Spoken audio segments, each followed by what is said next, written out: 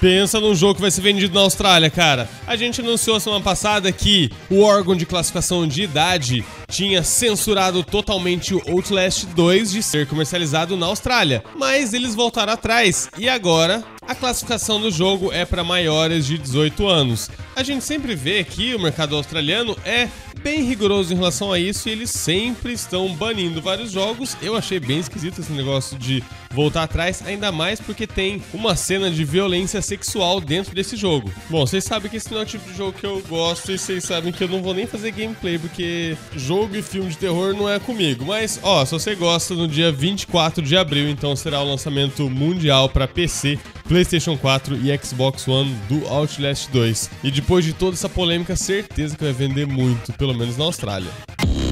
Game over.